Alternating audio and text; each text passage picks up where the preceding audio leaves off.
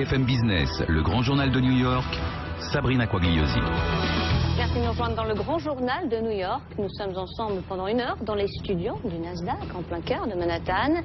Des vols low cost en classe affaires entre Paris et New York. C'est le pari de la nouvelle compagnie aérienne française baptisée la compagnie. Elle a effectué son premier vol cette semaine. C'est notre dossier du week-end dans ce grand journal de New York. Nous serons dans quelques instants avec le CEO Franz Yvelin. Il sera accompagné de celui qui s'occupe de concocter les petits plats à bord de la compagnie, Christophe Langré. Nous partirons ensuite à la rencontre de Marcel Soultray de Vicontra. C'est lui qui a réalisé les tenues de la compagnie. On en profitera pour lui demander comment ça se passe pour la marque de sportswear coloré et chic. Dans la deuxième partie de l'émission, on vous en avait parlé déjà en début d'année, la start-up française qui met le monde en boîte. Try the World. Elle vient de terminer une levée de fonds auprès d'investisseurs stratégiques. Son fondateur sera avec nous dans 30 minutes. Enfin, je propose de découvrir en fin d'émission une autre start-up française basée à New York, Learnitious, une solution de marketing basée sur l'éducation. Les explications dans 45 minutes. Allez, euh, gros plan comme promis sur la nouvelle compagnie aérienne française Tout Business reliant Paris et New York. Franck Yvelin, bonjour. Bonjour Sabrina. Vous êtes le CEO de la compagnie. À vos côtés, le chef étoilé Christophe Langré, ancien chef Bonjour.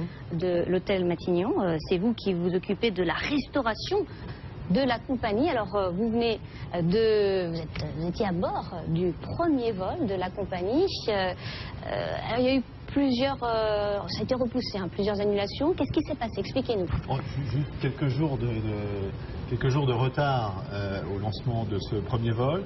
C'était une volonté euh, de, de notre part, simplement pour permettre euh, l'aménagement intérieur de l'appareil. Vous imaginez qu'on est dans le cadre d'un sur-mesure, donc Ouais. parfois il y a des, des fournisseurs qui ne vous livrent pas tout à fait ce que vous attendiez en matière d'éléments de confort. C'était notre cas. On a fait refaire, on a préféré attendre quelques Vous jours. été peut-être un petit peu trop optimiste. On a peut-être été un petit, peu, trop- un petit peu optimiste. Pour, pour ne rien vous cacher, on avait prévu de voler le 11 juillet. C'est Ouais. la date à laquelle nous avions dit que nous serions prêts. Nous étions prêts le 11 juillet puisque nous avons reçu la dernière de nos autorisations administratives le 11 juillet. Donc le 11 juillet, nous étions prêts à voler. On a préféré décaler quelques jours pour permettre l'entrée en flotte de cet appareil, du premier appareil, euh, avec les équipements de confort que nous souhaitions. Alors c'est pas un petit peu plus un petit peu compliqué comme ça d'avoir un petit peu de retard, euh, vous qui, qui ciblez vraiment euh, les, les- les entrepreneurs, le, le business? Dans, dans le transport aérien, toutes les compagnies, les grandes, les petites, euh, les low cost, euh, les traditionnelles, à partir du moment où vous proposez un nouveau service, que ce soit une cabine, que ce soit une route, que ce soit un nouvel appareil, vous prévoyez toujours euh, ce qu'on appelle un ramp-up, une montée en charge progressive. Donc ça a conduit dans notre cas à effectivement traiter trois vols passagers que nous avons traités, 100% de nos passagers. Nous, Ouais. nous, sommes, nous nous en sommes occupés, nous avons pris soin d'eux, ils sont arrivés à bon port et euh, tout cela a été très bien traité avec, je dois le dire, un très grand professionnalisme de la part de nos équipes. Et vous êtes arrivé pour le premier vol euh, avec de l'avance? On est arrivé hier avec notre premier vol donc B0100 qui s'est posé à l'aéroport de New York Newark hier soir euh, avec très exactement 19 minutes d'avance sur l'horaire prévu. Eh, c'est plutôt pas mal, vous Ce qui, est mettre en plutôt pas mal, ça. hein. ce qui est plutôt pas mal. plutôt pas. J'ai félicité le commandant de bord. Oui, j'espère bien. Et qu'est-ce que vous aviez préparé justement pour ce premier vol Alors, on a proposé un saumon fumé euh, assez classique, mais euh, bien réalisé, je pense. C'était, assez plaisant. Ouais. Un saumon fumé en entrée, et après, on avait le choix entre euh, des crevettes à la créole ou un filet de bœuf rôti avec des pois gourmands. Quelque chose d'assez simple. Et en dessert, on avait un praliné café. euh, voilà. C'était très bon. Enfin, moi, si Un je petit peux me permettre, parce que comme ça, je l'avais à côté de moi, donc Ouais. comme ça, si c'était pas bon, je lui aurais dit. dire le mais contraire. Ah, C'était très bon. C'était très bon. Est-ce que le menu va changer comme ça tout, tout Oui, le temps euh, ou oui, on va- voilà, on va travailler de plus en plus le menu. euh, évidemment, tous les jours, moi, je suis sur l'ouverture d'un restaurant, euh, le restaurant Le Faust à Paris, sous Ouais. le pont Alexandre III. Beaucoup de choses à faire alors. Ça ouais. prend pas mal de temps, euh, mais euh, voilà, on a, on a vraiment un réel désir de travailler en partenariat avec euh, France. euh, Oui, parce que comment ça se passe? Vous passez Matignon à la compagnie, la dynamique est assez différente, j'imagine. Est-ce que les plats sont faits le jour même ou il n'y a, pas de- il y a pas de cuisine quand même dans l'avion? Non, non, non, non, le- non, non, les plats sont fabriqués euh, dans un catering et euh, moi je, je conseille euh, bien sûr ce C'est vous qui catering. réalisez, Voilà. c'est vous qui dites, voilà, qui conseille, qui donne les, les recettes. Et euh, voilà, donc on va, on va travailler pour faire euh, quelque chose de, de bien, à l'image de la compagnie de France. Justement, Ah. la compagnie, c'est le tout confort, c'est euh, le tout business, les prix imbattables.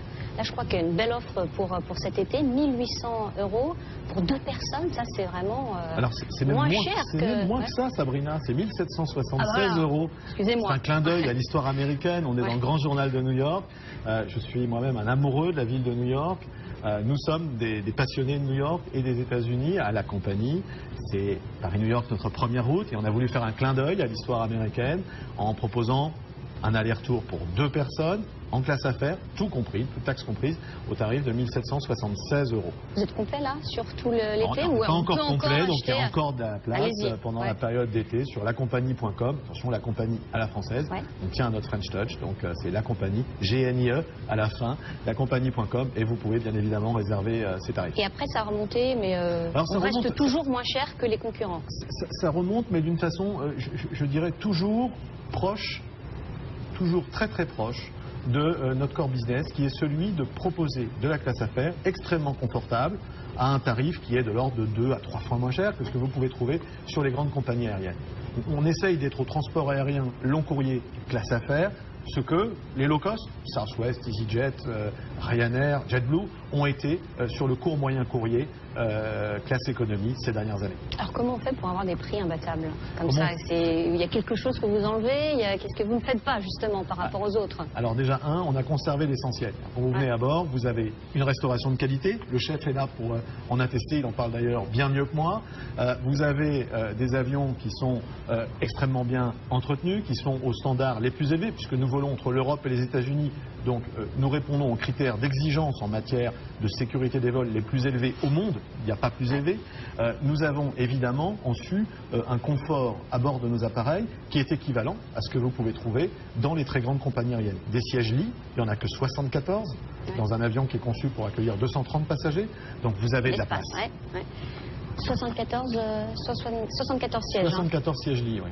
Et euh, vous, misez également sur le connecté. Je crois que Wi-Fi, tout sera Wi-Fi d'ici la fin de l'année. Alors, l'appareil va être euh, effectivement équipé d'une liaison euh, satellitaire pour permettre la connexion Internet, car contrairement à ce que on est dans le grand journal de New York, donc les, Français de New York sont habitués à voler aux États-Unis, vous pouvez trouver de l'Internet aujourd'hui au-dessus du territoire américain, vous pouvez en trouver sur quelques compagnies au-dessus de l'Europe, mais entre les deux, c'est très difficile, puisque là, on ne peut pas utiliser le- les, les signaux euh, amplifier le réseau GSM euh, ou 3G, comme c'est le cas pour certaines euh, compagnies aériennes, ou utiliser des couvertures satellites déjà existantes, déjà existantes au-dessus de ces zones géographiques. Au-dessus de l'Atlantique, les satellites sont en train d'être lancés et il y en a déjà quelques-uns d'opérationnels. C'est sur cela qu'on va s'appuyer pour démarrer. Un appareil pour le moment. Vous, vous aurez euh, deux appareils d'ici la fin de l'année, je crois. Plusieurs euh, liaisons, plusieurs euh, liaisons par semaine. Donc quatre, euh, on commence par quatre et après, ça sera tous les jours. Alors, on a déjà un appareil donc, qui, est, un- Ouais. qui est- qui est opérationnel puisqu'on est venu avec il y a quelques, temps maintenant. Et le deuxième appareil, je l'ai signé il y a plusieurs mois. Il nous sera Avec la même compagnie ouais. Alors c'est un appareil de marque Boeing, Ouais. donc voilà c'est un Boeing 757 euh, 200. C'est donc le même type d'appareil que le premier, équipé de moteur euh, Rolls-Royce. Et ce n'est pas la même société de financement, si c'est ça votre, Ouais. votre question. Euh, euh, en revanche, cet appareil nous sera livré un peu avant la fin de l'année, euh, donc dans le début, à peu près le milieu du dernier trimestre de, de cette année, donc une intégration en flotte très rapide tout de même. Et euh, cet appareil, pour répondre très clairement à votre question, je n'ai pas encore décidé, nous n'avons pas encore décidé si on allait augmenter nos fréquences sur New York, entre Paris et New York, ou si nous allions peut-être euh, ouvrir une autre destination européenne au départ de New York. Ah, D'accord, donc c'est ma prochaine question. Euh, New York, Paris, Paris, New York. Et après, vous ne savez pas encore si euh, à terme vous allez ajouter des, des autres liaisons. C'est dans les projets. C'est dans les projets. Les. Tout On dépend. ouais. On, on- on regarde aujourd'hui une augmentation évidemment de nos fréquences entre Paris et New York pour répondre à la demande. D'abord que le démarrage des réservations, les premiers indicateurs que nous avons, puisque nous vendons depuis quelques semaines, donc Ouais. c'est- très nouveau, excellents, sont excellents, sont très bons, sont au-delà de, nos attentes. On remercie d'ailleurs la confiance de, nos premiers passagers et euh, clairement on verra en fonction de cette demande si on va euh, dans un premier temps augmenter nos fréquences entre Paris euh, et New York ou si nous allons ouvrir une, autre route. Enfin, pour terminer de répondre à votre question, évidemment on n'a pas l'intention de s'arrêter à seulement deux avions. J'espère bien. Voilà. Euh, vous aviez déjà fondé l'avion euh, Oui. il y a quelques années, revendu à British Airways. Euh, il y a plusieurs sociétés comme ça qui ont tenté le, le tout business. Ça n'a pas vraiment marché. Qu'est-ce qui vous fait dire aujourd'hui bah, que ça y est, tout le monde est prêt, que ça va enfin marcher? C'est un business model qui va être à terme rentable. Alors, tout d'abord, je ne crois pas qu'on puisse dire que euh, le modèle n'a pas marché. J'ai effectivement fondé l'avion il y a quelques années. Ça avait super bien Ça a marché, été Nota, on est bien un- d'accord. un, un hein. très beau succès. Euh, nous l'avons revendu ensuite euh, au groupe British Airways. Ce que son nouveau propriétaire en a fait n'attire aucun commentaire de ma part. Euh, je constate simplement aujourd'hui que c'est un produit triclasse, donc qui effectivement n'est plus du tout dans l'esprit de ce qui avait été créé il y a quelques années. Euh, la place était donc totalement libre et à ce titre, nous avons décidé de, lancer euh, la compagnie. Pourquoi la compagnie va fonctionner? Vous savez, je crois que c'est dans l'air du temps. Aujourd'hui, je pense que ça ne viendra à personne, particulièrement peut-être aux États-Unis, encore plus qu'en Europe, d'acheter une voiture sans climatisation, par exemple. Mm. Bien la classe affaires, c'est exactement la même chose. Quand vous y avez goûté, vous ne voulez plus voyager en classe économique. Eh bien, écoutez, le message est, passé. Merci beaucoup d'avoir été avec nous. hein. Euh, Vous étiez à New York euh, tous les deux à bord du premier vol de la compagnie. Bon retour en France et revenez nous voir euh, très vite sur ce plateau du Grand Journal. On retrouve dans quelques instants Marcy euh, de Soultresse. C'est lui euh, qui a réalisé le tenue de votre personnel. À très vite.